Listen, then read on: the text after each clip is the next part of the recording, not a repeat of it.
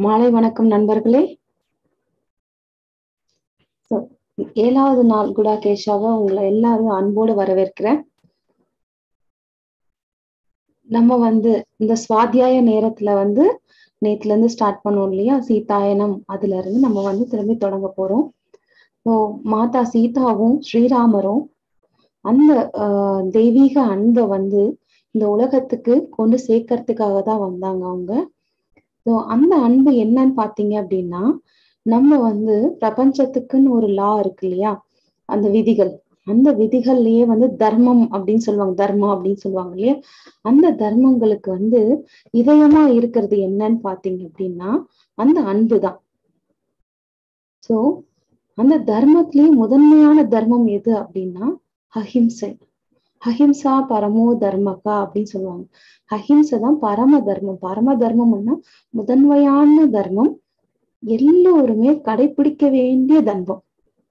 மனிதனா பிறந்தா இதெல்லாம் நம்ம வந்து கடைபிடிச்சே ஆகணும் அப்படின்றதுல முதன்மையானது முக்கியமானது வந்து அஹிம்சா பரமோ தர்மகா. இதுதான் வந்து சாஸ்திரங்கள் எல்லாம் சொல் இதை ஒண்ணு வந்து நம்ம கடைபிடிச்சாலே போதும் மாஸ்டர். நம்மளோட முக்தி ரொம்ப லெகுவாயிடும் நமக்கு. ஸோ அஹிம்சை அப்படின்றது வந்து எண்ணம் சொல் செயல் மூணுத்துலயுமே அஹிம்சை இருக்கணும். நம்மளோட எண்ணத்திலையும் யாரையும் துன்புறுத்தக்கூடாது. எண்ணத்தாலையும் சரி சொற்களாலையும் சரி செயல்களா செயலாலையும் சரி யாருக்குமே எந்த துன்பத்தையும் கஷ்டத்தையும் கொடுக்காம அஹிம்சை வழியில இருக்கிறது தான் வந்து வந்து அஹிம் பரம தர்மம். ஓகேங்களா மாஸ்டர் ஸோ அடுத்தது வந்து நேத்து வந்து என்ன பார்த்தோம்? மீனாட்சி அவங்க வீட்டுல அதாவது ஆஹ் மகாராஜா பேலஸ்ல வந்து எப்படி வளர்ந்தாங்க? அவங்க கூட எல்லாம் எப்படி இருந்தாங்க? அவங்க அப்பா என்ன பண்ணாங்க? எல்லாமே பார்த்தோம். அவங்கள வந்து கடைசியா காப்பாத்தினது வந்து யாருன்னு பாத்தீங்கன்னா நம்ம ஜனக மகாராஜா. அதுக்கப்புறம் வந்து இரண்டாவது அத்தியாயம் வந்து பாத்தீங்க அப்படின்னா சீதையின் வருகை. அப்ப வந்து ஜனக ராஜ்யத்துல வந்து மித்திலையில வந்து ரொம்ப வந்து கஷ்டத்துல இருந்தது. வறட்சி. அவ்வளவு வறட்சியா இருக்கும் பொழுது அதுல வந்து ஜனகர் வந்து என்ன பண்ணாரு? ரொம்ப அதிகமா வந்து தவம் பண்ண ஆரம்பிச்சாங்க. தியானம் பண்ண ஆரம்பிச்சாரு. அவர் கடுமையான தியானம் பண்ண ஆரம்பிச்சு இதுக்கு என்ன காரணம்? கண்டுபிடிக்கணும் அப்படின்றதுக்காக தியானம் பண்ணும்போது அவர் தெரிஞ்சுக்கிட்டது என்னன்னா இந்த உலகத்துல இருக்க ஏதோ ஒரு இடத்துல நட இருக்கிற அந்த கெட்ட சக்தினாலதான் இதெல்லாம் நடக்குது அப்படின்றது அவருக்கு புரிஞ்சிச்சு. ஆனா அவர் வந்து எல்லாரும் அந்த நம்பிக்கையும் அவருக்கு இருந்தது. இந்த என்ன கெட்டது நடந்தாலும் கஷ்டமான நேரத்துல நல்ல உங்களுக்கு நல்லதே வந்து சேரும் அப்படின்ற நம்பிக்கையோட அவர் வந்து அதுக்கு என்ன சொல்யூஷன் அதாவது அதுக்கு என்ன வந்து நமக்கு அது தெரியணும் என்ன பண்ணணும்ன்றத நோக்கி தவம் பண்ணிட்டே இருக்கும் பொழுது ஒரு நாள் வந்து அந்த ஆறு ஆற்றங்கரையில உட்காந்து தவம் பண்ணும்போது என்ன ஆகுது அப்படின்னா அந்த வந்து ஆறே வந்து ஒரு தேவதையா மாறி என்னோட தண்ணியை எடுத்து நீ வந்து பயிர்களுக்கெல்லாம் வந்து கொடுத்து நீ பயிர் பண்ணிக்கோ விவசாயம் பண்ணு அப்படின்னு சொல்லணும். அவருக்கு புரியல என்ன பண்ணணும் அப்படின்னு சொல்லி கேட்கும் பொழுது அவங்க வந்து இப்படிதான் வந்து இதுல இருந்து கால்வாய் வெட்டி கொண்டு போய் நீ வந்து எல்லா நிலத்துக்கெல்லாம் கொடுத்து விவசாயம் பண்ணுங்க அப்படின்னு அந்த மாத்தாவே வந்து சொல்லி கொடுத்தாங்களாம். அதை உபயோகிச்சு கொஞ்ச நாள் வந்து அவங்களால அந்த வறட்சியில இருந்து தப்பிக்க முடிஞ்சிச்சு. ஆனா அந்த ஆறுமே வந்து வத்த ஆரம்பிச்சிருச்சு. ஏன்னா மழையே இல்லை. அப்படி காஞ்சு போய் கிடக்குது. அதனால வறட்சி வறட்சி வறட்சி. அவரும் வந்து கடுமையா தவம் இருக்காரு. அங்க ஊர்ல இருக்கவங்க எல்லாருமே வந்து ஆஹ் விரதம் இருக்கிறோம் அப்படின்னு சொல்லிட்டு சாப்பிடாமலேயே இருக்காங்க. அவருக்கு வந்து மகாராஜாவும் அதுல சேர்ந்துட்டு ரொம்ப நாட்கள் வந்து தவ வலிமையால மட்டுமே வாழ்ந்துட்டு இருக்காரு அவரு. ஆஹ் அப்ப வந்து என்னாச்சுன்னா பக்கத்து ராஜ்யங்கள்ல இருந்து எல்லாரும் ஹெல்ப்புக்கு வரும் பொழுது அதுல முக்கியமா வர்றது யாருன்னு பாத்தீங்கன்னா கோசலை ராஜ ராஜ்யத்துல இருந்து தசரத மகாராஜா தான் வர்றாங்க. அவர் என்ன பண்றாரு? நான் ஹெல்ப் பண்றேன் அப்படின்னு சொல்லிட்டு அவங்க வந்து பெரிய ராஜ்யம் ரொம்ப செழிப்பான ராஜ்யம் அது அவங்களது. அதனால அவங்க வந்து நான் தானிய வகைகள் எல்லாமே ஃபுட் வந்து கொடுக்குறேன் அப்படின்னு சொல்லும் பொழுது ஆஹ் ஜனக மகாராஜர் வந்து ரொம்ப கஷ்டமா இருக்குது அவளுக்கு. அதாவது ஏதாவது கொடுத்துட்டு தான் இன்னொன்னு வாங்கணும். யாருக்கு அதாவது ஆஹ் சும்மா எதுவும் வாங்கக்கூடாது அப்படின்றது அவரோட நோக்கமா இருந்தது. அதை புரிஞ்சுக்கிட்ட தசரத மகாராஜர் என்ன பண்ணாரு? நீங்க வந்து இதுக்கு பதிலா உங்களோட வந்து கைவினை பொருட்கள் ஆஹ் அதெல்லாம் வந்து ரொம்ப அழகா இருக்கு. இதெல்லாம் எங்க நாட்டுல இருக்கவங்களுக்கு சொல்லி தரீங்களா? அப்படின்னு சொல்லி கேக்குறாராம். அதை கேட்டோன்னே அவருக்கு ரொம்ப சந்தோஷமாயிடு கண்டிப்பா இதோட ஞானம் உங்களுக்கு தரும். ஆஹ் அது நான் இது வந்து இந்த சாப்பாடை கொடுத்துட்டு அந்த ஞானத்தை வாங்கிக்கிற மாதிரி சரி ஒண்ணு வாங்கினா இன்னொன்னு நம்ம கொடுக்கணும் அப்படின்றது வந்து பழக்கப்படும் சும்மா எதையும் எங்கேயும் வாங்கக்கூடாது நம்ம. அதுக்கு பிரதிபலனா நம்ம ஏதாவது செய்யணும் அப்படின்றது இது மூலமா நல்லா தெரியுது மாஸ்டர்ஸ். அப்போ வந்து இந்த அயோத்தியா மன்னன் மன்னர் வந்து செஞ்சது வந்து ஆஹ் மிதிலையில இருக்க எல்லார் மனசுலயும் நன்றி உணர்ச்சியோட ரொம்ப ஆழமா பதிஞ்சிடுச்சு. சோ அவங்களுக்கு நன்றி உள்ளவங்களா எப்பயுமே இருப்போம் அப்படின்னு சொல்லிட்டு அவங்க நினைக்கிறாங்க. இதுக்கப்புறம் என்ன ஆச்சுன்னு பாத்தீங்கன்னா ஜனக மகாராஜா சுனைனா மாதாவும் ரொம்ப வருடங்கள் கிடக்குது. ஆனா அவங்களுக்கு வந்து பிள்ளைகளே கிடையாது இல்லையா? அது வந்து எல்லாருக்கும் வந்து ஒரு ரூமர் மாதிரி ஒண்ணு. வதந்தி பரவ ஆரம்பிச்சிச்சு. என்ன அப்படின்னு சொல்லி பாத்தீங்க அப்படின்னா அவங்க வந்து ஒரு மகாராஜா வந்து ஒரு பெண் குழந்தைகளுக்கு பெண் குழந்தை வரணும் அப்படின்றதுக்காக தவம் இருக்காரு அப்படின்றது. எல்லாருக்கும் பரவ பரவ என்னது? பெண் குழந்தைய? அவருக்கு ஆண் வாரிசே இல்லையே. அவருக்கு பின்னாடி ராஜ்யத்தை யார் பார்த்துப்பா? அவர் ஆண் வாரிசு தானே கேட்கணும். எதுக்கு பெண் வாரிசு கேட்கறாங்க அப்படின்னு எல்லாருக்குமே ரொம்ப குழப்பமா இருந்தது. அப்போ வந்து ஒரு ஆஹ் பெரிய முனிவர் அவங்க ராஜ்யத்துக்கு வரும்பொழுது நான் கேள்விப்பட்டது உண்மையா ஜனகா? அப்படின்னு சொல்லி கேட்கும்பொழுது என்ன கேள்விப்பட்டீங்க அப்படின்னா நீ வந்து பெண் குழந்தைக்காக வந்து பாக்குறியா அப்படின்னா ஆமா அப்படின்னு உனக்கு எதுவும் ஆண் குழந்தையே கிடையாது. எதுக்கு பெண்ணுக்காக பாத்துட்டு இருக்கு அப்படின்னு? ஏன் ஆஹ் ஏமா ரிஷி நீங்களும் இப்படி பேசுறீங்க. நான் வந்து என்னோட ராஜ்யத்துக்காக மட்டும் நான் எப்பயும் பார்க்க மாட்டேன். இந்த உலகத்தோட நன்மைக்காக தான் நான் பாக்குறேன். எனக்கு நல்லா தெரியுது. இது வந்து ஏற்றத்தாழ்வு வந்துகிட்டே இருக்கு இந்த பூமியில. இது இப்படியே தொடர்ந்துச்சுன்னா பூமியே இல்லாம போயிடும். அதனால இதை சரிப்படுத்துக்கு சரிப்படுத்துறதுக்கு அந்த ஆதி சக்தியே நமக்கு வர வரணும் அவளே வந்து ஒரு பெண் உருவம் எடுத்து இங்க வந்தாதான் அது சரியாகும். அவ இல்லாம இது சரி பண்ணவே முடியாது. இது இன்னும் ரொம்ப ரொம்ப வந்து அதிக வந்து கெடுதலை தான் கொடுத்துட்டு இருக்குது அதுக்கு ஆதிசக்தி வந்தே ஆகணும். அதுக்கு அதுக்காக நான் எவ்வளவு தவம் பண்ண முடியுமோ அவ்வளவு தவம் பண்ணுவேன் அவ கிட்ட இருந்து பதில் வர வரலையும் நான் விட மாட்டேன் அப்படின்னு சொல்றாரு. அவரும் சரி ஓகே செய்யுமா அப்படின்னு சொல்லிட்டு கிளம்பிடுறாரு. இந்த மாதிரி அவர் ரொம்ப டிட்டர்மைண்டா அதாவது உறுதியோட உறுதியான மனப்பான்மையோட தனக்காக பார்க்காம தன்னோட ராஜ்யத்துக்காக மட்டும் பார்க்காம இந்த உலகத்துக்காகவே வந்து எனக்கு அந்த குழந்தை வேணும் அப்படின்னு சொல்லிட்டு அவங்க சொல்றாங்க. இப்ப பாத்தீங்கன்னா நம்ம வந்து நமக்கு வந்து ஆஹ் மக்களாகி நமக்கே வந்து ஆண் வாரிசு வேணும் எனக்கு பின்னாடி பேர் வைக்க வேணும் கொல்லி வைக்க வேணும் அப்படின்னு கேக்குற அந்த இதுல வந்து அவர் ராஜ்யத்துக்கு யாரும் இல்லைனாலும் பரவாயில்ல எனக்கு எனக்கு வந்து ஆஹ் இந்த பூமியோட நலன் தான் ரொம்ப முக்கியம் அப்படின்னு தன்னலமற்று அவர் சிந்திக்கிறாரு. அதனாலதான் அவர் ராஜ ரிஷி அப்படின்னு சொல்லி போட்டப்படுறாரு சோ அதுக்கப்புறம் வந்து ஒரு நாள் காலையில மகாராஜா வந்து சீக்கிரமா எந்திரிச்சு ஆஹ் ஒரு இடத்துக்கு போறதுக்காக ரதம் ரெடி பண்ணி ரெடியா வச்சிருக்காரு. சுனேனா மாதா கிட்ட சொல்லிட்டு கிளம்பும் பொழுது ஆஹ் அவர் எதிர்பார்த்தது என்னன்னா சுனேனா மாதா வந்து கூட வருவாங்க அப்படின்னு சொல்லிட்டு. ஆனா அவங்க வராம நின்னுக்கிட்டே இருக்காங்க. ஏன் சுனேனா நீ வரமாட்டியா? உன்னோட குழந்தைய கூட்டிட்டு வரத்துக்கு அப்படின்னு கேட்டாராம் ஆமா சுனேனா மாதாக்கு அப்படியே உடம்பெல்லாம் சிலிர்த்து போய் கண்கள்லாம் வந்து அவ்வளவு ஜொலிக்க ஆரம்பி என்னது அப்படின்னு. ஆமா வா நம்ம பொண்ணை கூட்டிட்டு வரலாம் இன்னைக்கு அப்படின்னு சொல்லிட்டு கூட்டிட்டு போறாரு. ரொம்ப தூரம் கூட்டிட்டு போயிட்டு அங்க உட்காந்து ரெண்டு பேருமே தவம் பண்றாங்க. மகாராஜா வந்து தவம் பண்றாரு.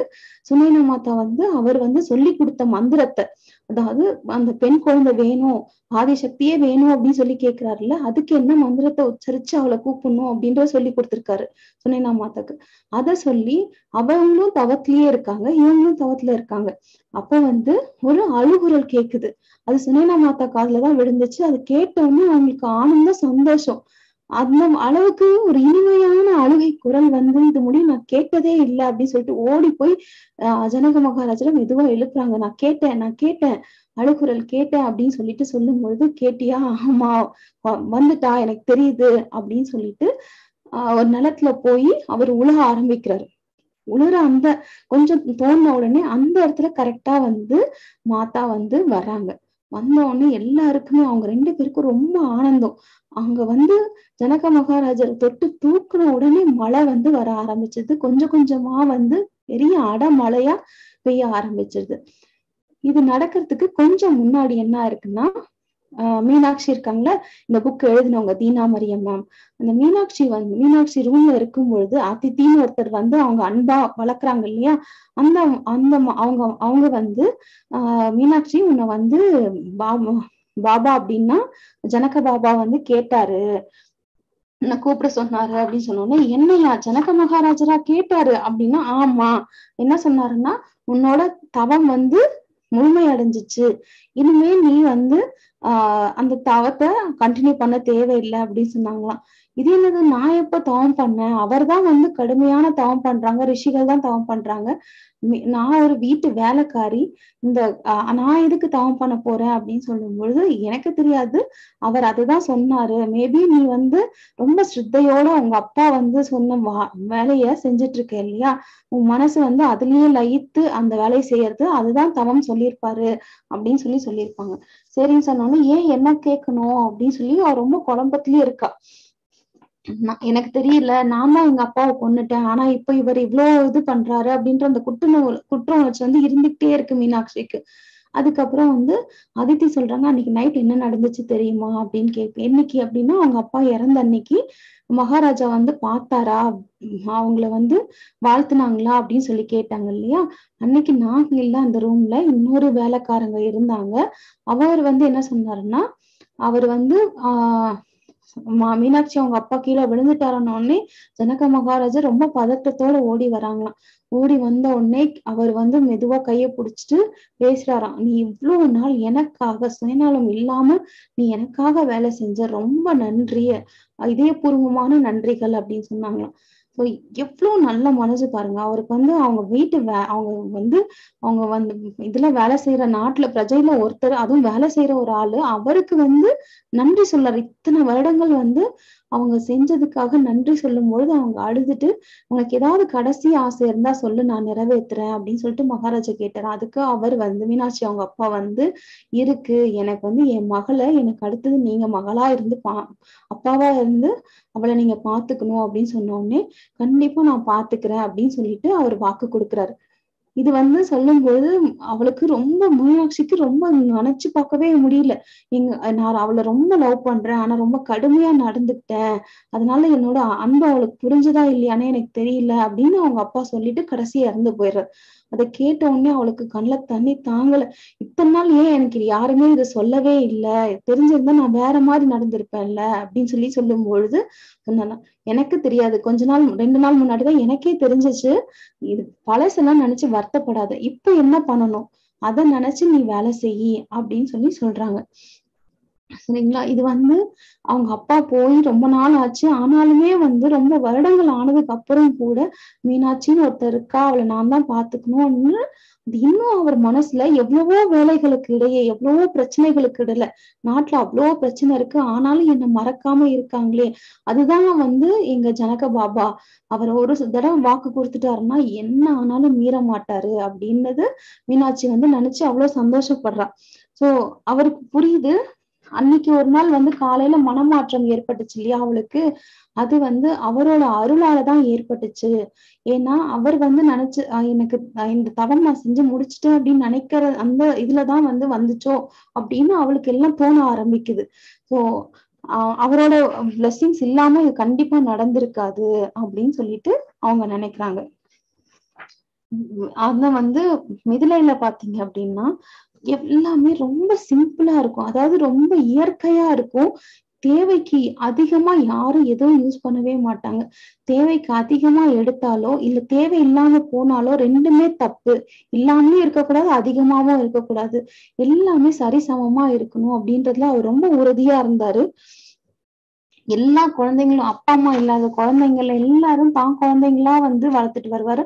அதே மாதிரி பெரியவங்க அதாவது ஆஹ் அப்படி குழந்தைகள் இல்லாத பெரியவங்களை கூட எல்லாருமே நல்லா பாத்துக்கிட்டாங்க இந்த மாதிரி இருக்கும் பொழுது ஆஹ் அவங்களுக்குள்ள வந்து மக்களுக்குள்ள வந்து ஏதாவது ஒரு வார்த்தை சொன்னாங்கன்னா அது கண்டிப்பா எல்லாருமே வந்து அதை வந்து நிறைவேற்றுவாங்க. சோ ஒரு நம்பிக்கைன்றது இயற்கையாவே அவங்க எல்லாருக்குள்ளயுமே இருக்கும்.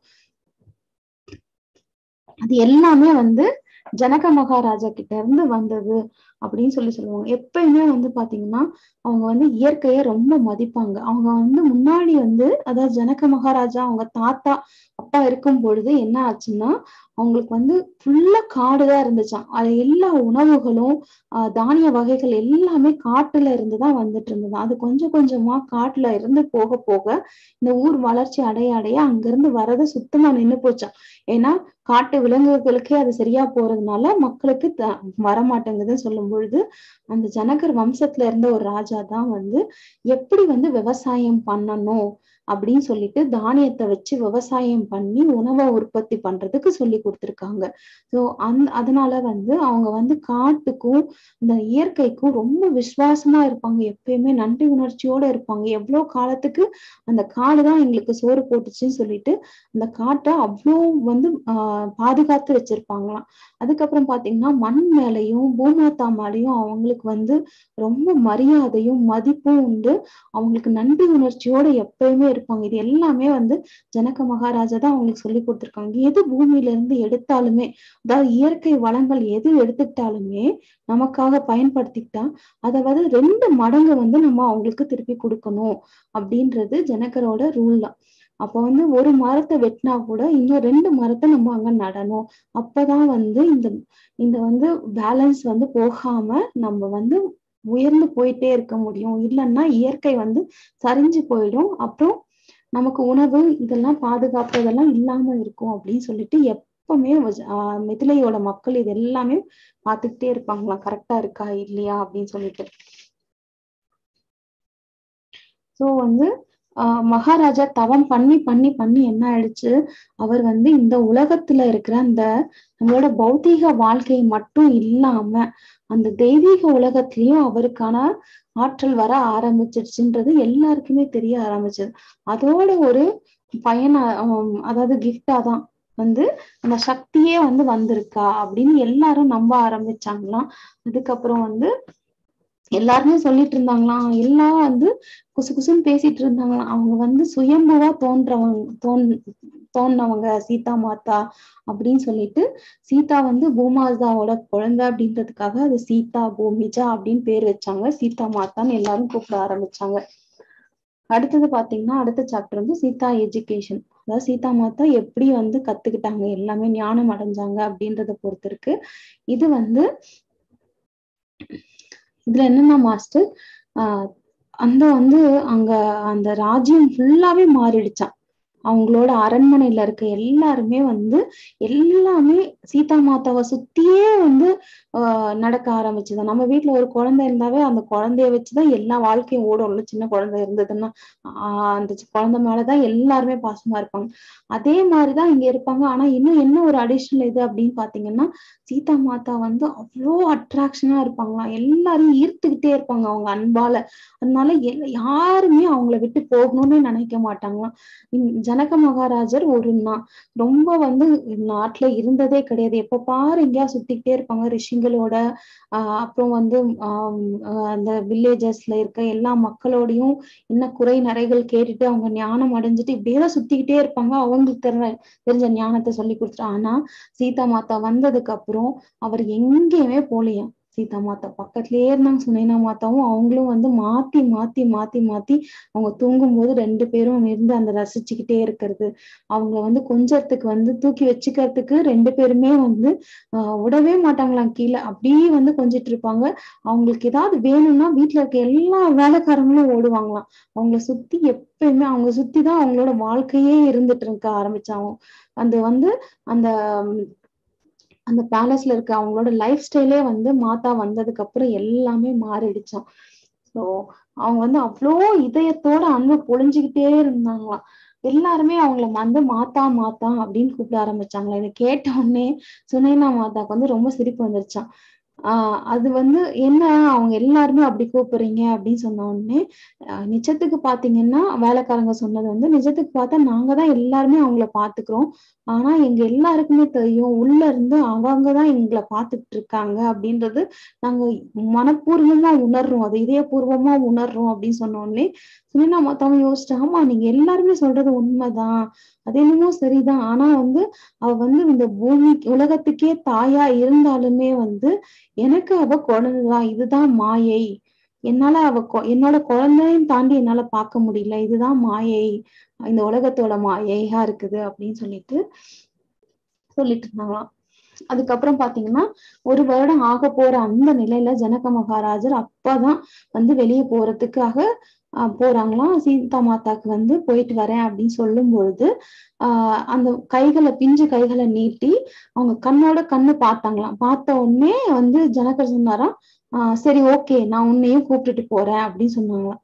அது சுனைனா மாதா கேட்ட உடனே ஷாக் ஆயிடுச்சு. என்னது ஒன்பது மா பன்னெண்டு ஒரு வருட ஒரு வருஷம் குழந்தைய வந்து நீங்க எப்படி தூக்கிட்டு போவீங்க? உங்களால மட்டும் எப்படி பாத்துக்க முடியும் அப்படின்னா இதெல்லாம் கேள்வியே கிடையாது.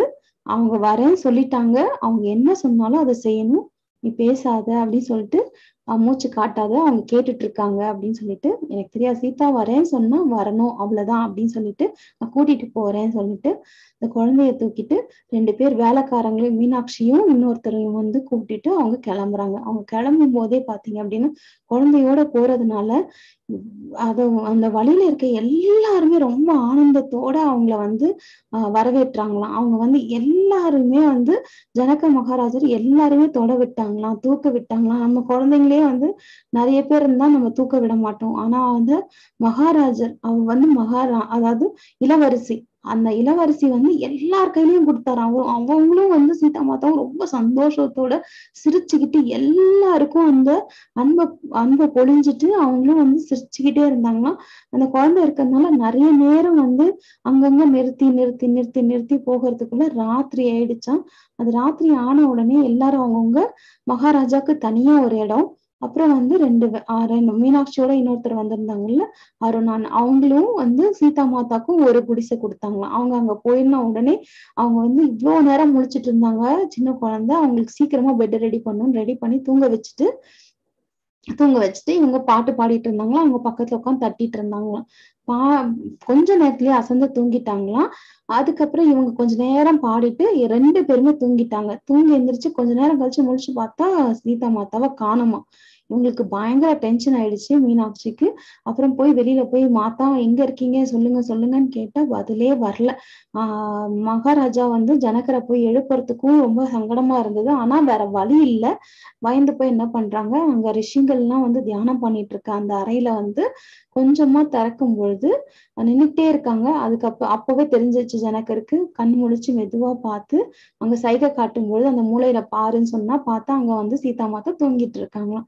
ரொம்ப நேரம் ஆகல. இப்பதான் வந்தாங்க. ஆஹ் அவங்க இங்கே இருக்கட்டும். நீ போய் படுத்துக்கோ நான் பாத்துக்கிறேன் அப்படின்னு சொன்னாங்களாம். இல்ல அப்படி இல்ல நான் பாத்துக்கிறேன் அப்படின்னு சொன்ன உடனே அவங்க வந்துட்டாங்க. சோ அவங்களோடய அவங்க படுத்துக்கிறாங்க. எப்படி வந்தான்னு கேட்டா நடந்து வந்தாங்க அப்படின்னு சொன்னாங்களாம். அதாவது சீதா மாதா இது முடியும் வந்து நான் எடுத்து கால் எடுத்து வைக்கவே இல்லையா? திடீர்னு நடக்க ஆரம்பிச்சுட்டாங்களாம். நடக்க ஆரம்பிச்ச உடனே ராஜாவோடய அந்த நைட் எல்லாம் தூங்கிட்டு மகாராஜாவோட அடுத்த நாள் வந்து இவங்களோட இருந்தாங்க. எப்பயுமே பார்த்தாலுமே வந்து அந்த ஆஹ் அங்க வந்து இந்த கேட் ஒண்ணு இருந்தது அந்த ஆசிரம கேட் அதுக்கே போறதுக்கே வந்து முயற்சி பண்ணிக்கிட்டே இருப்பாங்களாம். கொஞ்ச நேரம் அசந்தா போதும் போயிட்டே இருப்பாங்களாம். இவங்க வந்து கண்கொத்தி பாம்பு மாதிரி ரொம்ப ஜாக்கிரதையா அவங்கள பாத்துக்கிட்டே இருந்தாங்களாம். ஒரு மூணு நாள் கழிச்சு பார்த்தா அவங்களையும் மீறி அவங்க போக ஆரம்பிச்சிட்டாங்களாம். அந்த கேட்டை தாண்டி போயிட்டாங்களாம். இவங்க கண்டுபிடிச்சிட்டு மீனாட்சி கண்டுபிடிச்சு ஓரத்துக்குள்ள அங்க மகாராஜாவும் இருந்தாராம். நீ விடு அவ எங்கேயோ போகணுன்றா போட்டோம். ஏன் தடுக்கிற? அப்படின்னு சொல்லும் பொழுது இல்ல காடு இருட்டா இருக்குது இல்ல அப்படின்னு சொன்ன உடனே சரி போ. ஆனா அவங்களோட பாதையே டிஸ்டர்ப் பண்ணாத. அவங்க போற வழியில போட்டும். நீ பின்னாடியே ஜாக்கிரதையா பின்தொடர்ந்து போ அப்படின்னு சொன்ன கொஞ்ச கொஞ்சம் தூரம் போன உடனே ஒரு புதருக்குள்ள இருந்து அவங்களுக்கு எங்க போகணும்னு தெரிஞ்சிருக்கு. நடந்து போய் புதர்ல போய் அந்த ஒரு குட்டி ஆஹ் மிருகம் அதை வந்து கையில தூக்கிட்டு வந்துட்டு அவ ஒரே அழுக அதை பார்த்ததுல இருந்து சீதா மாதாக்கு ஒரே அழுகையா அவங்க அப்பா கையில கொடுத்துட்டு ஓன்னு அழுத உடனே அங்க இருக்கிற ஆசிரமத்துல இருக்க அத்தனை பேரும் வந்துட்டாங்க. அப்புறம் அந்த அடி கால்ல அடிபட்டுருக்கு அந்த மிருகத்துக்கு கட்டு போட்டு படுக்க வச்சு பெட்டு போட்டு படுக்க வச்சிருந்தா அன்னைக்கு நைட் அன்னைக்கு கொஞ்ச நேரத்துல அது செத்துருச்சான் அதுக்கு அது வந்து மனசை அவ்வளோ பாதிச்சிருச்சு சீதா மாதா மனசு. அதுக்கப்புறம் அவங்க கேட்டு கிட்ட போகணும்னு கூட நினைக்கவே இல்லையா? அவங்க போய் அவங்க ரூம்ல அவங்க அந்த மீனாட்சி கூட அப்படியே இருந்துக்கிட்டாங்களாம். அந்த சோகம் வந்து கலையவே இல்லை. ஆஹ் ஊருக்கு போய் அதுக்கு சுனேனா மாதா பார்க்கும்பொழுது கூட அந்த உண்மையேதான் இருந்தாங்க. ரொம்ப நாள் ஆச்சு அவங்க அந்த கவலையில இருந்து வெளியே வர்றதுக்கு. சோ இதெல்லாம் வந்து ஆஹ் போகும்போது பிஞ்சு குழந்தையா போனவங்க நடக்கிற அந்த வயசு குழந்தையா திரும்பி வந்தாங்களா? ரொம்ப பெரிய வளர்ச்சி சுனைனா மாத்தா பார்த்த உடனே என்ன இவ்வளவு வளர்ந்துட்டாங்க? எவ்வளவு ஒரு வருஷம் ஆன மாதிரி இருக்கு எனக்கு? அப்படின்னு சொல்லிட்டு சொல்லிட்டு இருந்தாங்களாம். சோ இந்த மாதிரி வந்து நிறைய தடவை மாத்தா வந்து இந்த மாதிரி நடக்குமா? இதெல்லாமே வந்து ஆஹ் எங்க போனாலுமே மகாராஜா கூட்டிட்டே போவாங்களாம் மாத்தாவை? அதுக்கப்புறம் வந்து ஆஹ் அவங்க வே வேலைக்கு யாராவது கூட்டிட்டு போவாங்க இல்லையா? அவங்க போயிட்டு வந்ததுக்கு அப்புறம் இங்க இருக்கிற வேலைக்காரங்க அத்தனை பேரும் உட்காந்து அந்த கதையை ரசிச்சு கேட்பாங்களாம். அவங்க பண்ண லீலை எல்லாம் வந்து ரசிச்சு கேட்பாங்களாம். அதுக்கா அதுக்காகவே அவங்க வேலையெல்லாம் சீக்கிரமா முடிச்சுட்டு யார் போயிட்டு வந்தாங்களோ அவங்கள நடுவுல உட்கார வச்சு கதை கேட்டுட்டே இருப்பாங்களாம் ஸோ இந்த மாதிரி நிறைய விஷயங்கள் மாஸ்டர்ஸ் இன்னும் நம்ம நாளைக்கு தொடருவோம். நமக்கு நேரம் எடுத்து இப்போ வந்து நம்ம என்ன பண்ணுவோம்னா நம்ம சீதா மாதா ஸ்ரீராமரோட ஆற்றலோட இணைஞ்சு ஒரு ரெண்டு நிமிஷம் தியானம் பண்ணுவோம். Two minutes meditation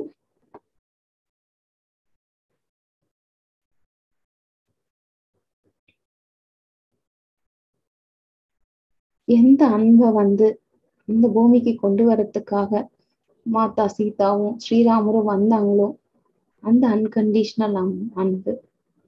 unconditional love அது நம்ம மூலியமா எல்லாருக்குமே உலகத்துல இருக்க எல்லாருக்குமே இந்த பிரபஞ்சத்துல இருக்க எல்லாருக்கும் எல்லாத்துக்குமே